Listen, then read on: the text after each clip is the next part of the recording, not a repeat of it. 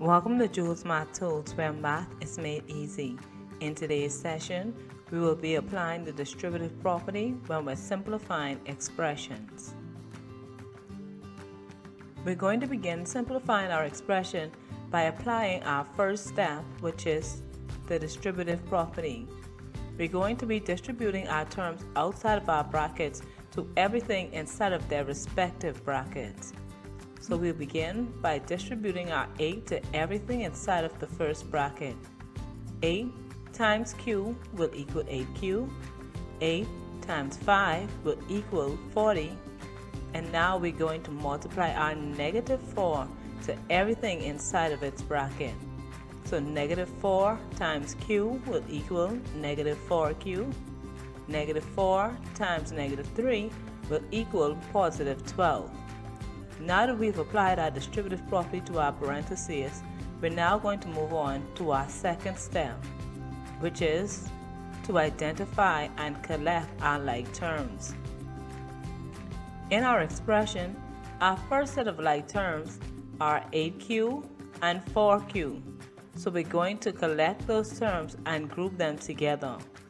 I want you to also notice that in the expression, I also circled the minus sign in front of our 4q. That's because whenever we collect or we move a term, we always move that term with the sign that's in front of the term. Our second set of like terms will be our remaining 40 and our number 12. Both of these numbers are constants and since they are both numbers, they are considered like terms. So we're going to also group those two numbers together. Now that we've collected and identified our like terms, we're now going to move on to our third step, which is to calculate. So we're now going to calculate our respective like terms together. So 8q will subtract 4q, which will equal 4q, and 40 plus 12 will equal 52. So now that we've simplified our expression, our answer will be 4q plus 52. And remember that you never simplify or calculate unlike terms.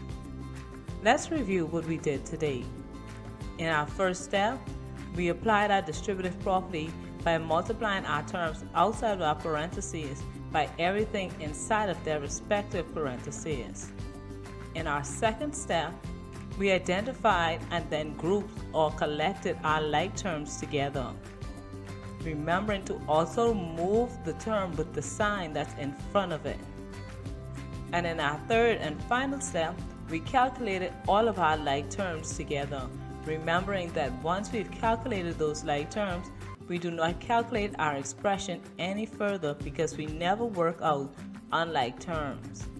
Now that you know how to apply the distributive property to simplify expressions with two parentheses, it's now time for you to perform your most important step, which is to practice. Remember, it's only through practice will you become a better mathematician. So ensure that you click the link in the description box below, which will take you to a worksheet where you can further develop your skills in simplifying expressions like the ones we did today. Until next time, this is Jewels Math Tools, where math is made easy.